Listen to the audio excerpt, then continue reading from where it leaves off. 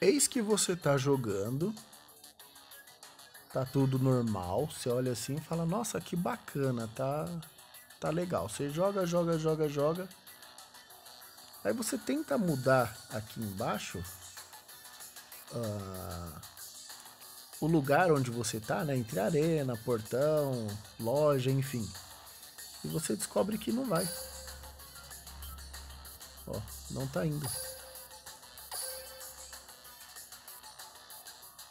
Aí, se você pressiona de novo na arena, beleza. Ela entra normal. Saiu, joinha. Você vem de novo? Não vai. Aí você pensa, né? Deslizando para os lados, a tela muda. Não dessa vez.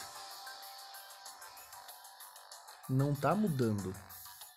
Tá dando um giro de 360 graus. Eu nunca vi isso no jogo.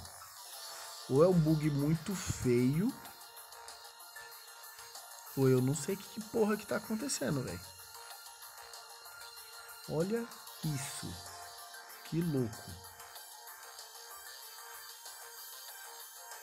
Visão de 360 graus do cenário.